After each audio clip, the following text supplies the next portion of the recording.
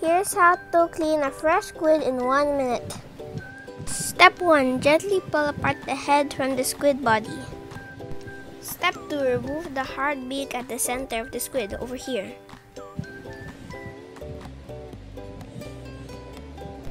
Step 3. Remove the jelly-like innards from the head including the ink sac over there.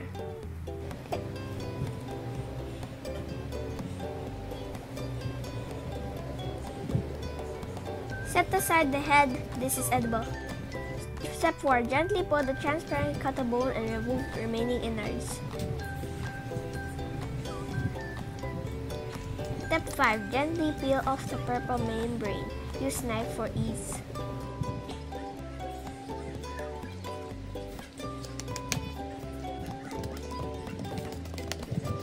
Next, cut. This is for calamari and squid wings. Remember to wash the squid after and pat dry. Thank you for watching. Please like and subscribe and comment and share.